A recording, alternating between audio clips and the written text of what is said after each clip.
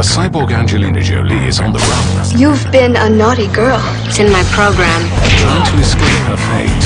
Glass shadow. Liquid explosive. It's circulating in your body at this moment. Why? Corporate counter espionage units. You were made to be destroyed. Fast falling for the human guide. We're not gonna live our lives together and die together.